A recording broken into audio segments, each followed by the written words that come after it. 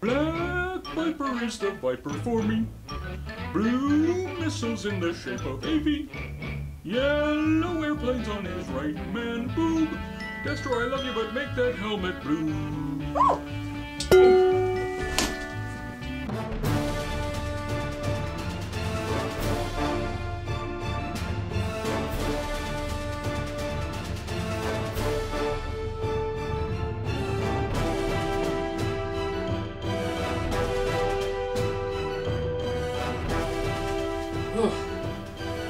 Hello everybody, Hooded Cobra Commander 788 here. This is the show where we review every vintage G.I. Joe toy from 1982 to 1994. The action figure for this week was chosen by voters on Patreon. It was our closest vote ever. For the last couple days of the poll, we had a three-way tie.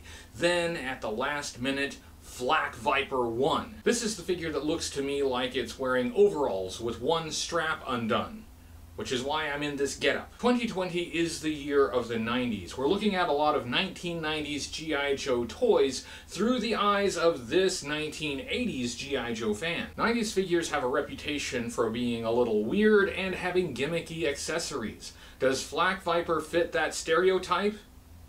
Yes. HCC 788 presents the Flak Viper.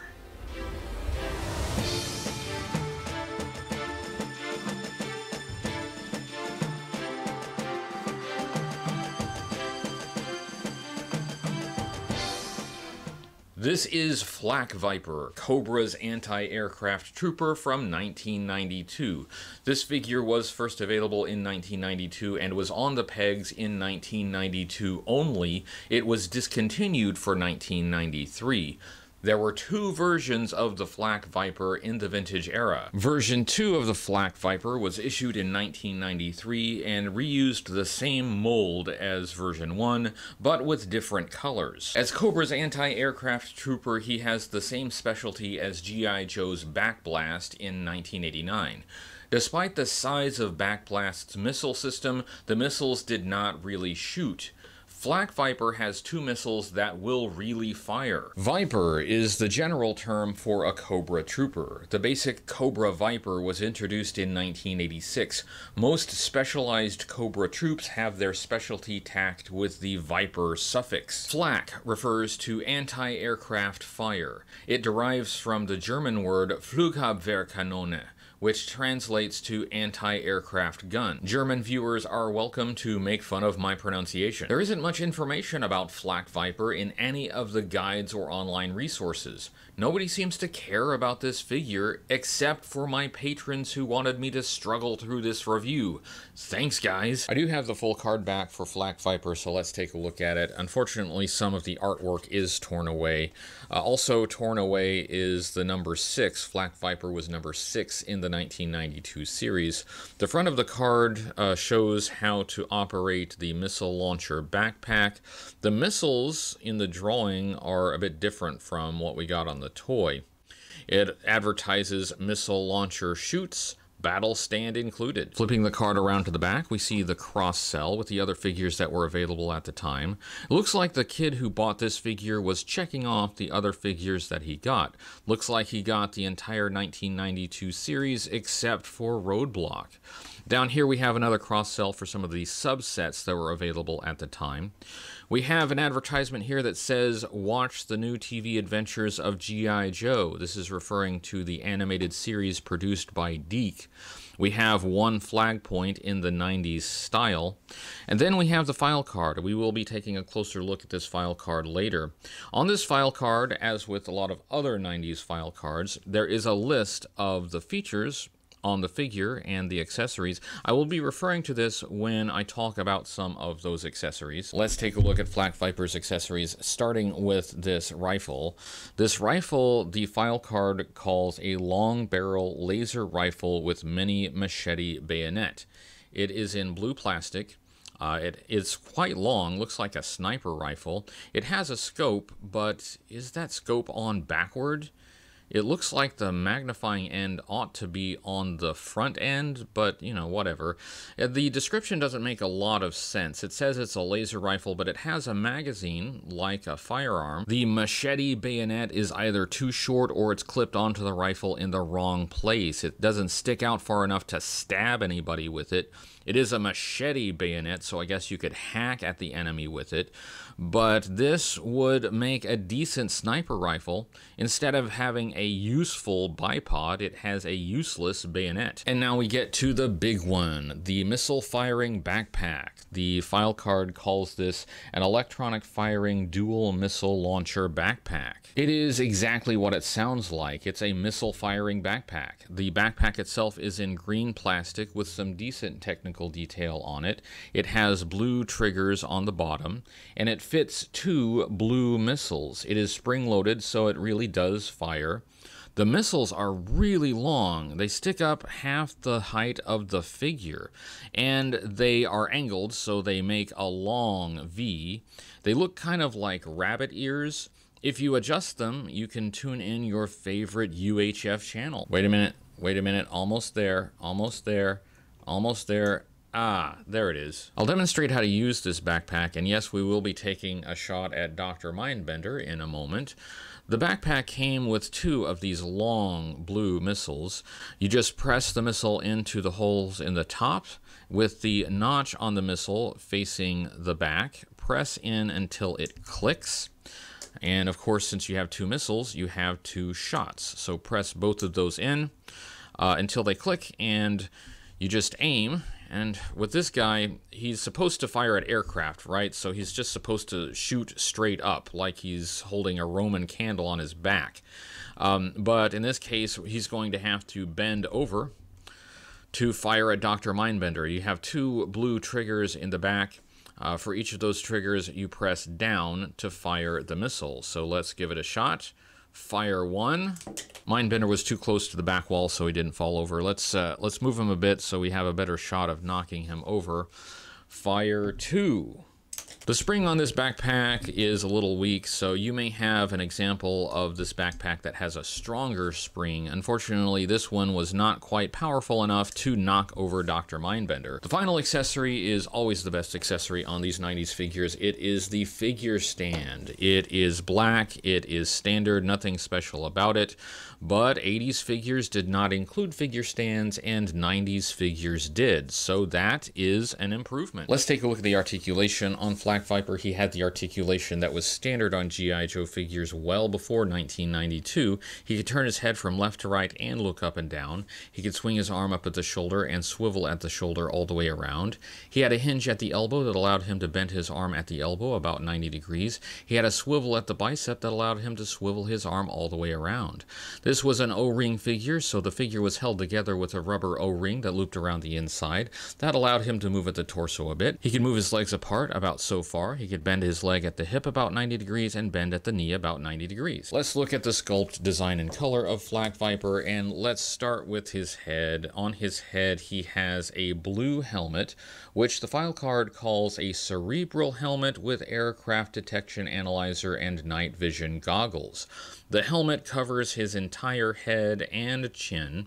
He has a black visor over his eyes. His mouth is exposed. He has Caucasian skin, and he's sculpted with a cartoonish grin. On his chest, he has a green undershirt and a gray leotard sort of thing with a strap that goes over one shoulder, only over the left shoulder, and he has a blue shoulder pad on that shoulder. This gray coverall sort of thing has vertical stripes sculpted on it, which to me makes it look like it's knit wool. He has a yellow tampo on the right side of his chest with aircraft kill marks.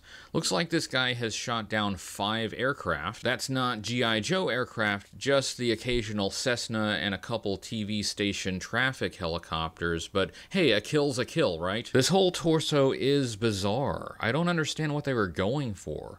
Why is his gray outer whatever it is only covering one shoulder? To me, it looks like overalls with one strap undone. On his arms, he has green upper arms, then he has blue elbows, then he has green long gloves that cover his forearms with a couple sculpted and painted straps over his elbows. The file card calls these anti radiation sure grip battle gloves. What kind of missiles is he firing if he needs anti radiation gloves? Again, I don't know what they were going for here. The arms alternate between green and blue, and none of it feels unified. The waist is entirely gray with those vertical sculpted stripes we saw on the torso. At last, we get a piece that is one solid color, but it needs something else. There is no belt. This gray thing covers his whole waist and crotchal area like some kind of weird ballet outfit. Finally, we get to the legs and the craziness just don't stop. He has blue trousers that are mostly covered by gray chaps. The file card calls these protective, non corrosive leg shield slip ons. Uh, whatever, they're chaps. The chaps are sculpted to look very loose over his black boots. He has a green pouch on the right leg with a green strap that goes around the thigh. The file card calls this a side pocket ammo holster.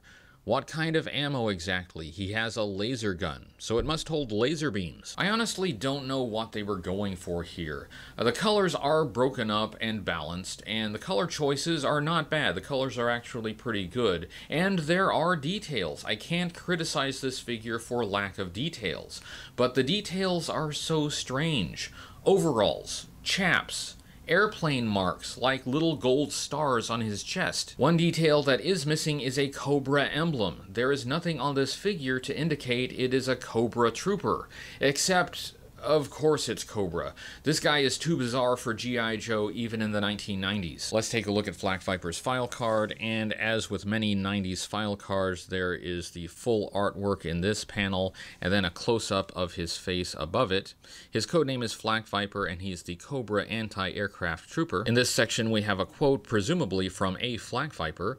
It says, We could positively max out our high score if only we had turbo joystick controllers. This quote sets the tone for the rest of the file card, unfortunately. I thought Turbo Joystick Controllers was just a made up thing for this file card, but there was a QuickShot 2 Turbo Joystick video game controller in 1985, so this may be a reference to that. This paragraph says Flak Vipers have a passive infrared targeting and sighting system built into their helmets. Of course they do. This allows them to fire extremely accurate tail biter missiles at G.I. Joe aircraft with absolute impunity. Tail biter missiles, that's what they're trying to call these blue missiles. It's not the most intimidating name. Moving on, it says these are dedicated and motivated troopers. To maintain maximum level of effectiveness, Flak Vipers spend long hours every day practicing simulated missile engagements using a program cartridge that plugs into their helmets. It would be like playing a portable video game for 10 hours straight. These guys get a kick out of roaming the battlefield in the Cobra Parasite while picking off incoming enemy aircraft. Cobra recruited gamers to shoot down airplanes, and they attack their enemies with impunity, just like on the internet. They ride in the Parasite, a 1992 Cobra vehicle, and shoot down enemy aircraft. You know what would have been just as effective? Put an anti aircraft missile on the Parasite. You don't need a guy with a backpack to do this. Looking at how the Flak Viper was used in G.I. Joe media, they had very few appearances in the DiC era of the animated series, but they had almost no impact on the series at all. They were mostly in the background. Looking at the comic book series published by Marvel Comics, I was able to find a few appearances of the Flak Viper. They appeared in issue number 127, where one of them shot at the Tomahawk with a rifle. They were in issue number 130, where they were part of Cobra's attack on G.I. Joe headquarters. In those appearances, they did not have their rocket firing backpack. Looking at the Flak Viper overall, what the damn hell is going on with this figure? I know Flak Viper has fans. I've read blogs that praise this figure. If you want an inexpensive Cobra army builder, this figure is good for that. There's not a lot of demand for this figure, so you can still pick up a bunch of them for pretty cheap. It is not a figure I will be army building. The colors are good, especially for a Cobra figure. I can legitimately praise the colors. But this figure can't decide if it wants to be primarily green or blue. It just flip-flops back and forth, with swishes of gray all over it. He needs a Cobra emblem. It would have been easy enough to give him one, but instead he has little airplanes on him little golden airplanes. He's dressed like a toddler. The missile firing backpack is bonkers. It makes less sense than 1992 Duke's crotch rocket. The missiles stick up so far, the backpack is unwieldy in any circumstances. The rifle almost looks good, except it has a bayonet that's too short to be a bayonet. I know 90s G.I. Joe fans watch these videos and think, oh, there goes Hoodie again, hating on these 90s figures. Just doesn't give these 90s figures a chance. Just doesn't understand understand what makes them so great. I am trying to say nice things about 90s figures, I am trying! But when you give me gray overalls guy with rabbit ear backpack, what can I do? Just not notice those things? Maybe I could try doing reviews with my eyes closed. That would make it easier sometimes. But in the end, my preference doesn't decide if this is a good or bad figure. Your preference decides that. That was my review of Flak Viper. I hope you enjoyed it, or at least I hope you didn't hate it too much. There's something I should have done with this video, but I didn't. A lot of these 90s figures had later releases that were just the same figure but recolored. I've been trying to combine those into one review, and Flak Viper version 2 really should have been reviewed in this video, but I didn't think of it until I was done. So later in this week, I will post a video that is a brief review of Flak Viper version 2. Consider it an addendum to this video. Thank you for watching this video. If you enjoyed it, I'm making more like it, so please give this video a thumbs up on YouTube, subscribe to the YouTube channel, hit the notification bell so you don't miss any future videos, and share this video with your friends. That's what helps this channel grow. You can find me on social media, on Facebook and Twitter, and I have a website, hcc788.com. If you want to know if I've already reviewed a vintage G.I. Joe item, that's a good place to check. Special thanks to all my supporters on Patreon Patreon, including the names you see on the screen now. Support on Patreon helps keep this show going. So if you like the show and you'd like to support the show in that way, please consider checking out Patreon. You can get some special rewards, including early access to reviews, and you can find out how to decode the secret messages you see in these videos. Thank you for joining me on this adventure of collecting vintage G.I. Joe toys. I'll see you next time, and until then, remember, only G.I. Joe G.I. Joe.